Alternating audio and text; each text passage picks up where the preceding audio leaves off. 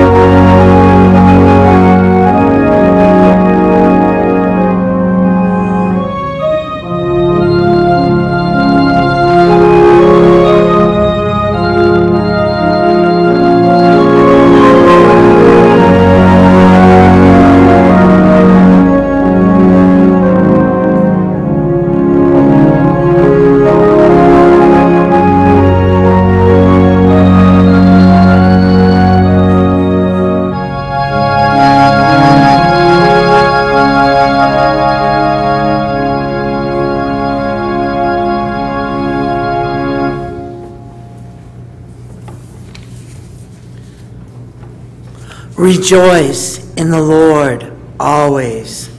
I will say it again. Rejoice. Let your gentleness be evident to all. The Lord is near. Do not be anxious about anything, but in every situation, by prayer and petition, with thanksgiving, present your request to God and the peace of God, which transcends all understanding, will guard your hearts and your minds in Christ Jesus. Please stand if you're able and join us in the call to worship. Praise the Lord, all you nations. Praise him, all, all you peoples. peoples. For great is his love towards us. The Faithfulness of the Lord endures forever. Praise the Lord. Praise the Lord. Please join us in singing This is My Father's World, hymn number 144.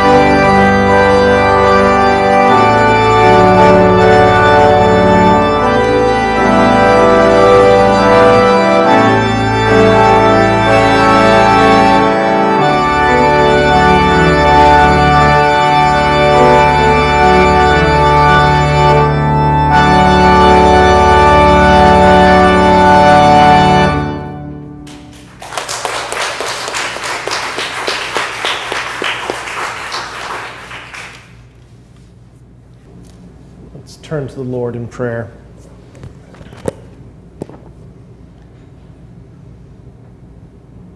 Oh God, we turn to you today and we give you thanks for the blessings of life, for family, for friendship, for liberty, and for justice.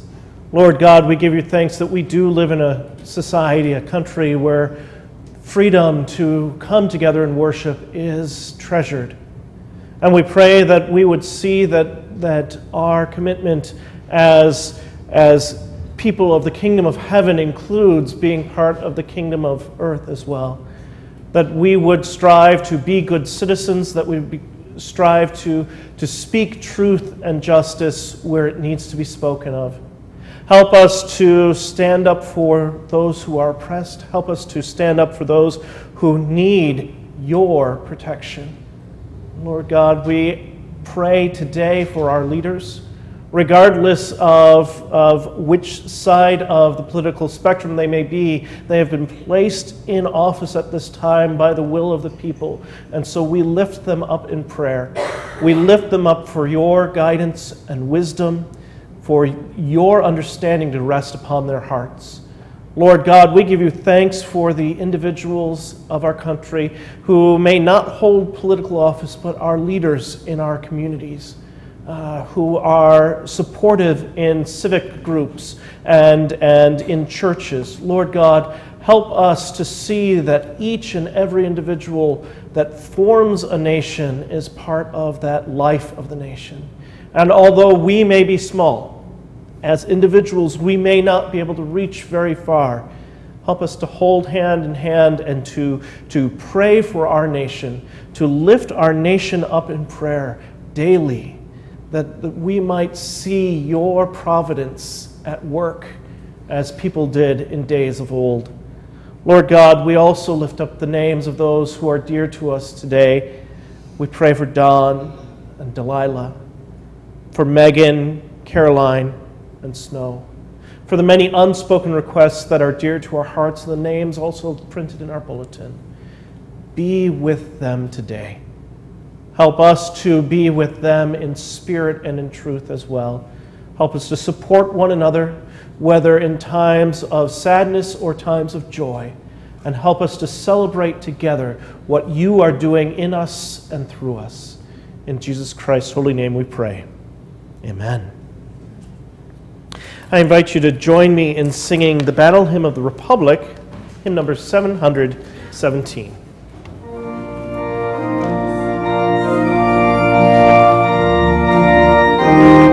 And please stand as you're able. Mine eyes have seen the glory of the coming of the Lord.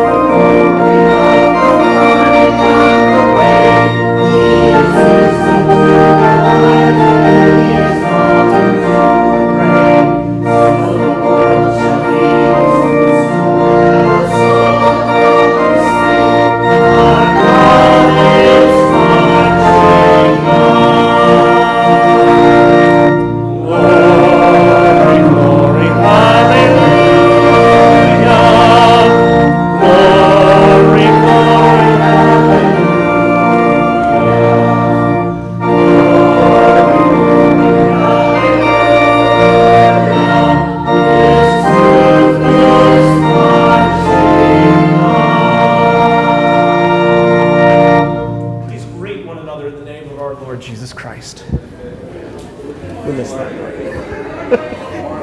Good morning. Good morning.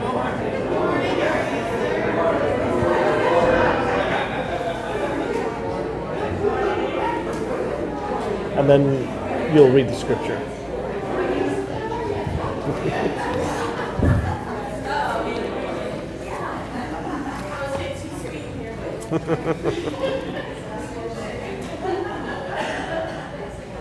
Isaiah 42, 1 through 4.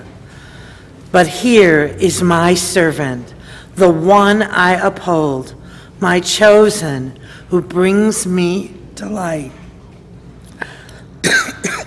I've put my spirit upon him. He will bring justice to the nations. He won't cry out or shout out loud or make his voice heard in public. He won't break a bruised reed. He won't extinguish a faint wick, but he will surely bring justice. He won't be extinguished or broken until he has established justice in the land. The coastlands await his teaching. Let us take a moment for prayer. Lord God, I ask that you open our eyes and ears to receive what you have for us today. And may the words of my mouth and the meditation of my heart be acceptable in thy sight. O Lord, my rock and my redeemer. Amen. How many of you have seen the musical 1776? Raise your hand. Oh, we're going to have to have a movie night. 1776, uh, the musical came out, I believe, in the late 70s. Uh, it is a story about the founding of our nation. And in it, there are some very very humorous moments where, where three of the main founding fathers are together arguing about what our national bird should be. And, and uh, the eagle is lifted up as one, and the turkey is lifted up as, as the other option. And it's, it's just uh, hearing Benjamin Franklin talking about how noble the turkey is and everything. It, it's, it's humorous and it's, it's lighthearted. And then there's moments that are deep and even dark a, a uh, courier comes with news for the, the, the Congress that is meeting to, to draft this Declaration of Independence.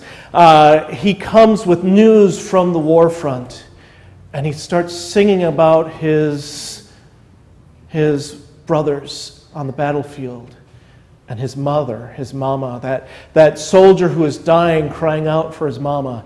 And oh, it is chilling and haunting. But the most haunting song of all, in my opinion, is when the, the founding fathers are arguing about whether or not the phrase, all men are created equal, should be included because, in the eyes of some of the delegates there, not all men are created equal. And some of the founding fathers are arguing that slavery should be abolished from day one. If they are going to be a land of liberty and justice and freedom for all, they mean for all. And they want to abolish slavery from that day one of the nation. And they're voted down. And a senator from the South begins to sing about the hypocrisy of the North, about how they like their trade and their money, and how they like their rum. But this triangle of trade would not exist without slavery. It's haunting and it's chilling because, hey, I grew up in the North. I grew up thinking that the people in the South were to blame for the Civil War and, and things like that. But there was a circle, there was a cycle.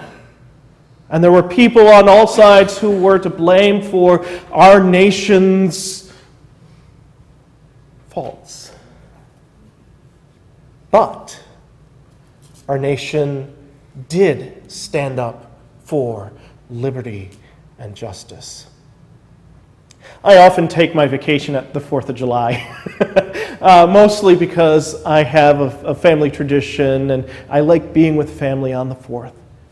And I don't usually preach anything to do with politics, but I think it's safe to preach about the politics of the 1700s. Uh, I won't be stepping on too many toes here.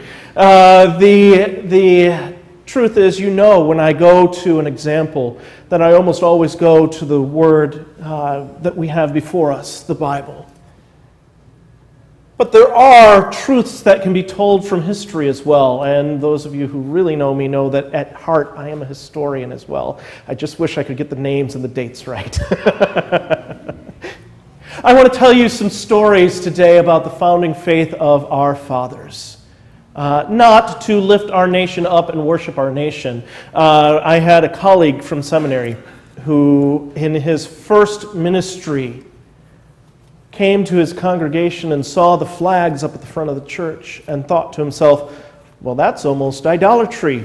We have flags of our nation in the front of the church where we should only have the worship of God. And so he took the flags and he moved them to the back of his sanctuary from week one. And amazing, on Sunday morning, they were back in the front. Hmm. And he'd march them back to the back each Sunday morning. And this struggle went on for months because to some of the members of the congregation, they fought for the freedoms that they believe in. And this foreign pastor, because he was from Scotland, wasn't respecting, you know who I'm talking about now, uh, uh, was not respecting the tradition and the honor of the congregation. Uh, it was after your time. I'm sorry. I see, I see Tony shaking his head. He doesn't know. Uh, but that's okay. That's not the important part. The part that I'm, I'm pointing to here is that there is a fine line, a balance between who we are as members of the kingdom of heaven and who we are as members of the kingdom of the United States of America. The United States, that term actually came about. Um, it used to be called the United Colonies of America. But they wanted to separate themselves. If they were declaring independence, they wanted to, to, uh, to separate themselves. They didn't want to be called colonies anymore, they wanted to be called states. But the truth is, they were anything but united. We had differing opinions, different social classes, different, differing uh, views of issues like slavery and trade. We had different views of the king. Not everyone was opposed to being a British subject.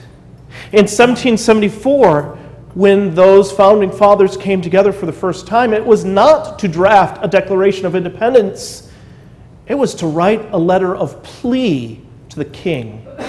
You see, they were beginning to be taxed by uh, Parliament. But the colonies were under agreement not with the British Parliament, they were under agreement with the king. And the king could do what he wanted with the colonies, but the colonists wanted to remind King George that they were not subjects to the government of Great Britain, they were subjects to the king and wanted the king to understand that if they were going to be taxed, all they wanted was a person in the parliament so that their voice could be heard. That's all they were going to do. And if King George had not been a little, uh, uh, he is known as Mad King George, uh, if he wasn't a little crazy, he could have headed off this whole revolution. You see, the North and the South distrusted one another. Virginia and Rhode Island had an argument that lasted for decades to the point where uh, the reason we have a Congress and a Senate are because of an argument between Virginia and Rhode Island. We don't just have one uh, House of Representatives, we have two because the two of them couldn't agree upon how the states and the federal government should work. And so a great compromise came about because they couldn't get along. If George, King George, had just played off of the differences that we had and started to talk to the South and say, uh, pointed out, well, you don't want them as your partners, you need to trust in me as your king, he could have separated the colonies. He had the authority to remove any ties of unity. But instead, he sent soldiers to attack these belligerent colonists. In that first meeting in 1774, when they came together, one of the congressmen said that they should start with prayer. And this began a argument. You see, you had uh, the descendants of the Puritans, and you had uh, some early Baptists, and you had uh, Congregationalists, and you had Unitarians, and you even had some Catholics here. And there was argument amongst them. Well, who should we say has the authority, spiritual authority, to, to speak and to pray for our gathering here? And one of them stood up and said, well, I don't care which denomination says the prayer as long as the man is a man of integrity and a patriot. And so they got a Presbyterian minister to come in and say a prayer. And he read from the book of Psalms. And his prayer changed the heart of that gathering of people. They were trying to find some common ground to make a plea to the king.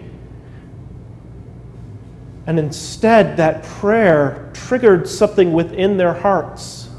That instead of a plea to the king, they should be appealing to the King of Kings and that they should be on their knees in prayer. And so each state representative went back home and, and had a proclamation that before, as soon as is logistically possible, you need to have a day of prayer in your state.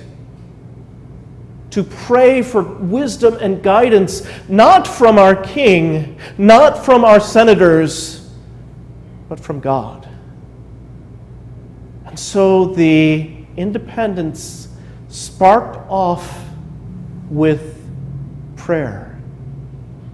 Now, when they came back together, here's, here's another bit of a story. John Adams. John Adams came from a state that had a state institutionalized religion. There was one church that was allowed in the state of Massachusetts.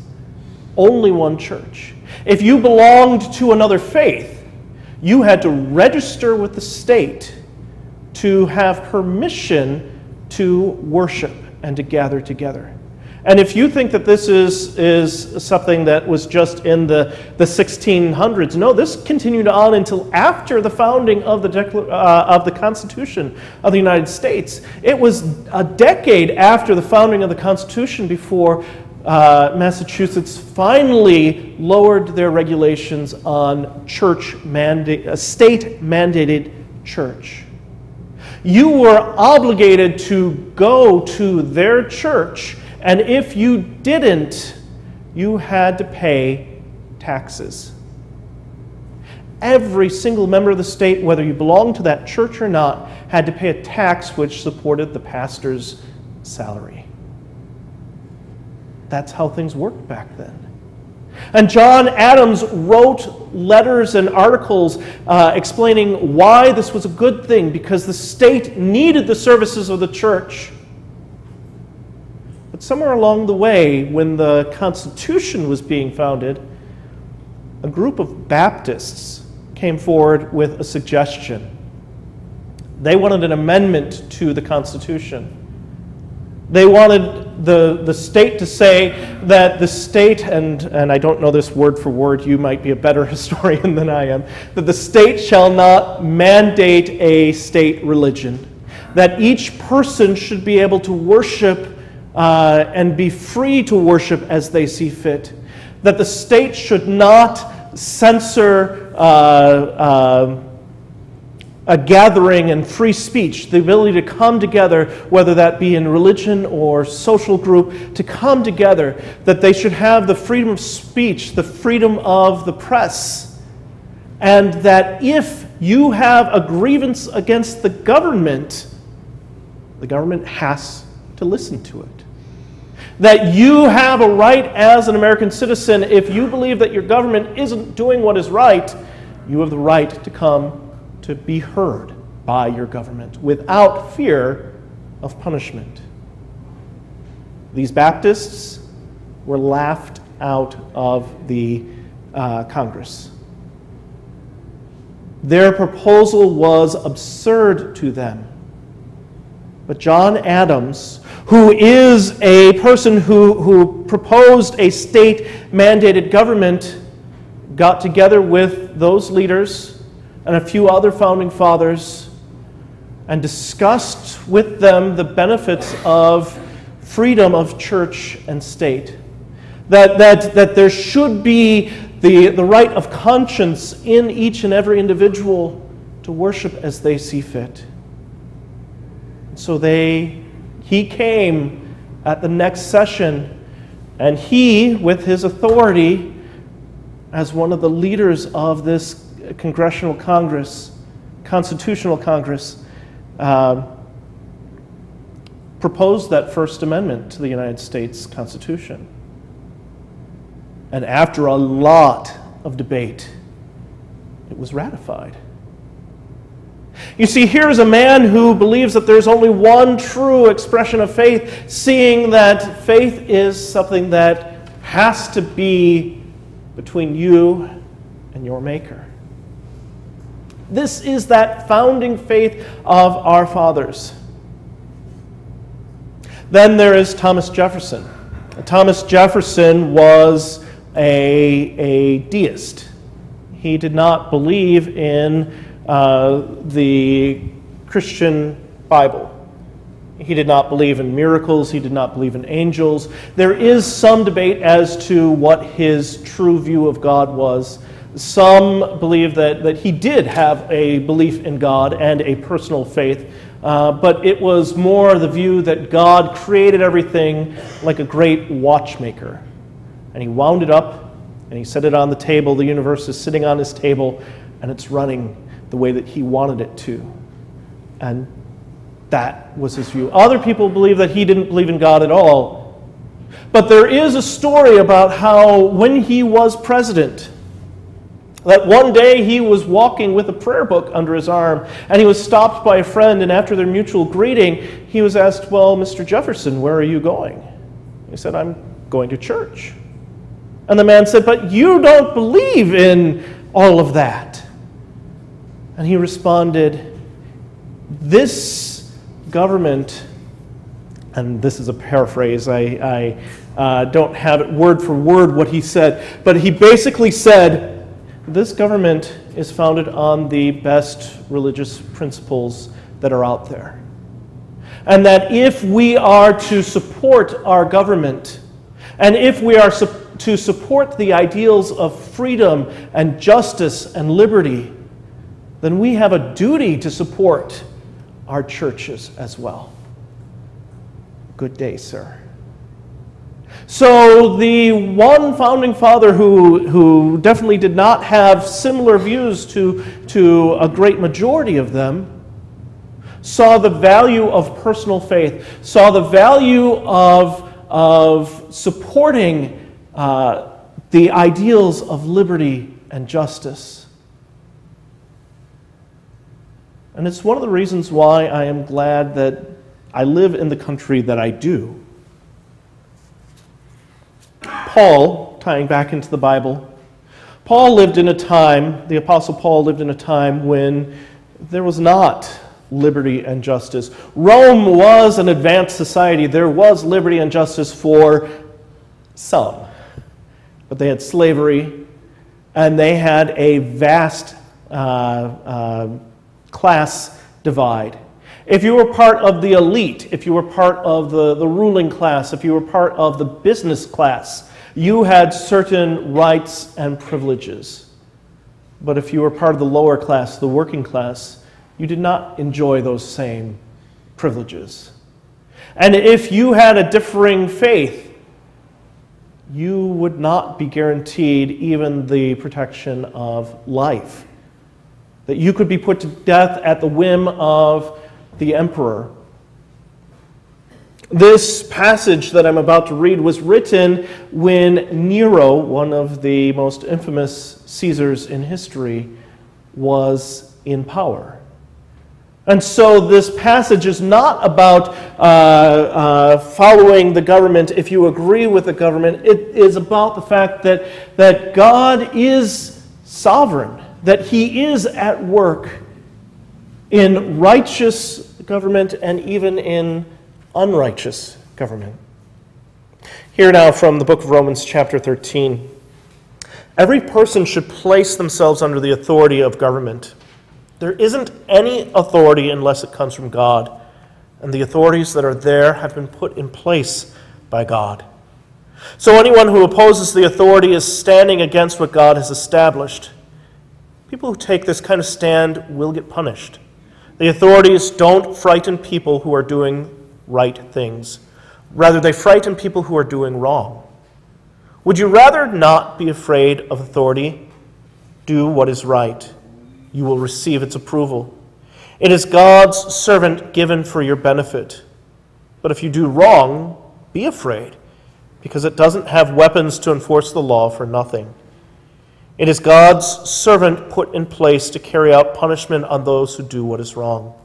That is why it is necessary to place yourself under the government's authority, not only to avoid God's punishment, but also for the sake of your conscience. You should also pay taxes for the same reason, because the authorities are God's assistants, concerned with this very thing. So pay everything what you owe them. Pay taxes you owe, pay the duties you are charged. Give respect to those you should, and honor those you should honor. Now, this reading is one that does cause challenges. What if you're living in North Korea? What if you are living in uh, Stalinist Russia during the time of Great Oppression? What then? You should see that God is still sovereign. In all of the stories that I told you this morning, things could have gone one way or the other. John Adams could have said, Nope, it's my way or the highway. The people of the South, uh, the governors from South Carolina and Georgia, could have said, Nope, it's my way or the highway. The people of Virginia could have said, Nope, it's my view of God or, or nothing at all. But people worked together for a common goal. They were vastly different the North often looked down on the South because it started as a penal colony. The South looked at the North as, as arrogant and pretentious. The, the smaller states looked on suspicion at the larger states because they saw them as greedy. But when people come together with a unified goal and acknowledge that God is in charge, and strive to do the best for their nation to honor God. Then there is harmony, and God's work can be done. I do not mean by any extent that our nation is perfect. I do not believe that there is any nation, nation on this earth that does it all right. Just as I don't believe that there is any denomination in Christendom that does everything right.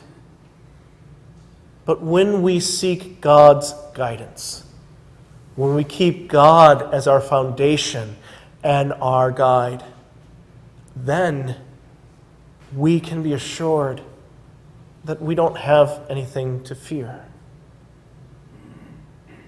We do have liberty and the ability to stand up, and there will be times when we have to stand up and say, This is righteousness, and this is not. But with that founding faith of our fathers, we have blessings in our country, and we should never take them for granted. Now, a voice of warning there are people in our government who want to white, let me rephrase that. There are people in our, our nation who want to whitewash our history, who want to erase religion from that founding of our nation. And there were people in the founding of our nation who were not Christian, whose views of God were greatly different from our own. But we cannot dismiss the founding cornerstone of our nation, that it was built upon Judeo Christian values of life, liberty, and justice for all. One day we might get closer to that credo than we are today. But until then, let us be a voice of truth and justice and liberty for all. Let us pray. Lord God, again I give you thanks that in these 200 and so, some odd years that you have had your hand on our nation that you have shown your providence. Uh, we could talk more about, about George Washington and, and the miracles he saw, your hand at work in the founding of our nation. Let us give you thanks for the blessings that we have. Let us see that we are subjects of a nation for a reason and give honor to those to whom honor is due. But also let us treasure the fact that we have been given freedom and to use it wisely. For while all things are permissible, not all things are wise. Give us your wisdom, your insight, your understanding. In Jesus Christ's holy name we pray. Amen. At this time, I invite the ushers forward for the taking of our tithes and our offering.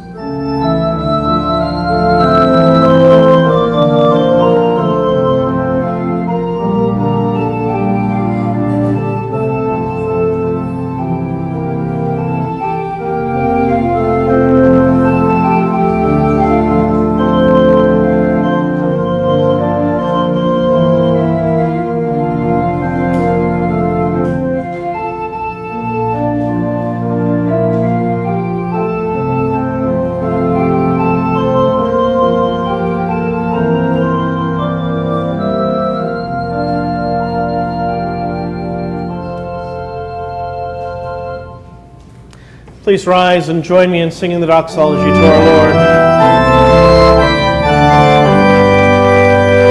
Praise God from whom the saints flow.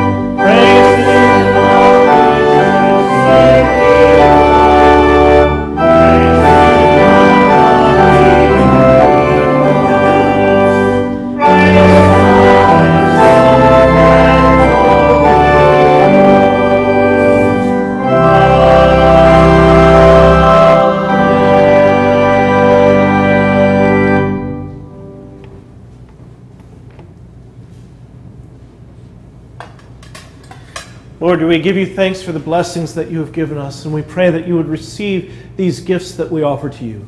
May they be used for the upbuilding of your kingdom here on earth. In Jesus Christ's holy name we pray. Amen. You may be seated. Part of the blessings of our nation is that we are able to come together and practice our faith. And as part of that practice, we retell the story of our faith. On the night in which Jesus Christ was betrayed, he took bread, the bread of the Passover meal, and he broke it. And he passed it to his disciples and said, Take and eat. This is my body which has been broken for you. It is the tradition of our church that you do not need to be a member in order to partake of the table of our Lord. Just as Jesus did not forbid Judas from that table, I will forbid no one. But I do ask that we come together and prepare our hearts and minds for this act of worship. Lord God, we give you thanks for the blessings of life and the truth that the, the true Lord of Lords, the true King of Kings, came and was not an authoritarian, was not a dictator, but was a servant to all, willing to give even his body and blood for the forgiveness of all humankind. Help us as we come before the table today to prepare our hearts to find peace and forgiveness in you. Amen. Invite the ushers forward.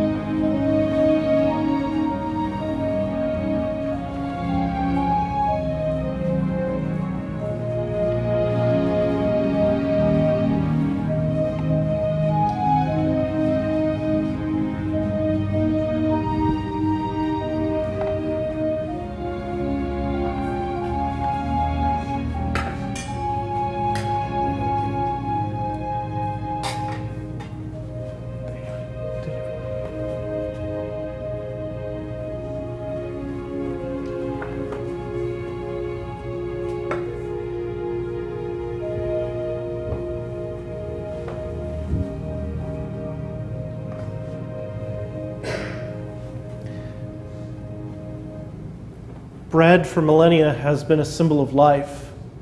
Take the life of Christ into you. Take and eat.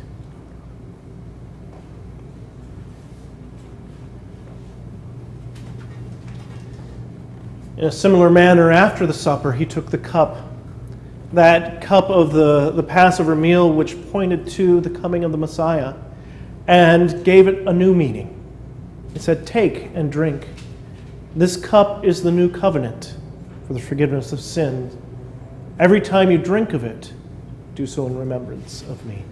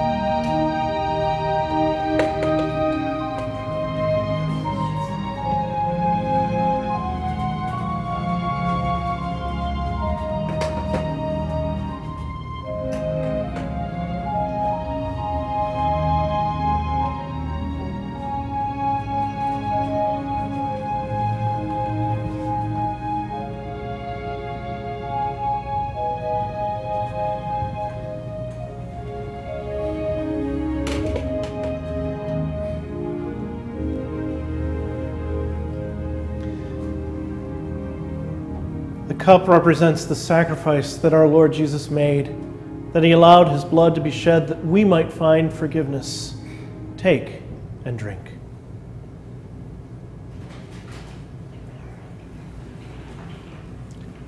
After the Passover meal, the disciples gathered together uh, around in that upper room and sang hymns uh, until Jesus went out to the, the Garden of Gethsemane. And so I invite you to join us hand in hand and share together singing, Blessed be the tie that binds.